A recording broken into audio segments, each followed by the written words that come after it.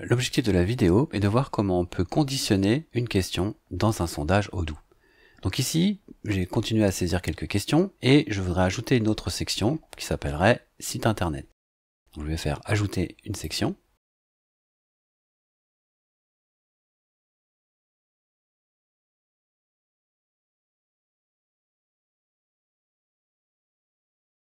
valide avec entrée. Et ensuite, je vais venir déplacer ça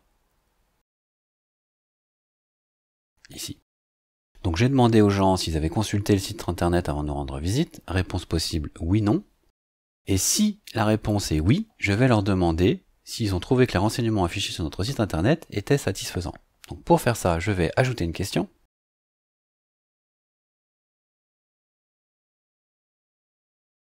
La question, je peux la copier-coller puisque je l'ai déjà dans un traitement de texte. Si oui, les renseignements affichés sur notre site internet étaient-ils satisfaisants? Et je vais leur demander de noter ça de 1 à 10. Donc je vais faire comme tout à l'heure, je vais faire une matrice.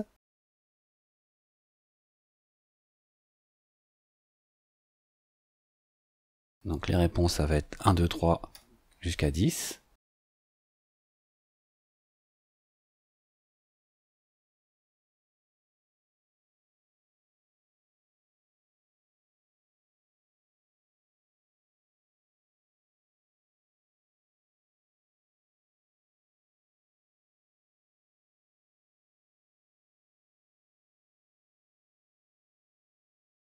Entrée.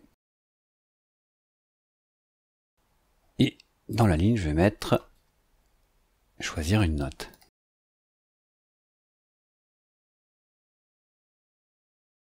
Celle-ci, je vais l'enlever. Ensuite, ici, je pourrais décrire ce que je demande, hein, toujours pareil. Et dans Options,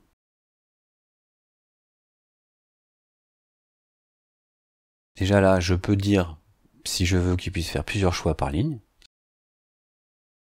Je peux rendre la réponse obligatoire ou pas. Et là, il y a conditional display, c'est-à-dire je rends la question conditionnelle. Alors parfois, il n'y a rien qui s'affiche là, donc l'idée c'est de bien sauvegarder les questions avec leur, avec leur réponse, sauver le questionnaire, ensuite éditer de nouveau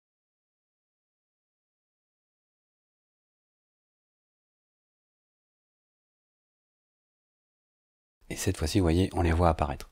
Donc je sais pas pourquoi il y a ce petit bug, mais bon, c'est pas très grave.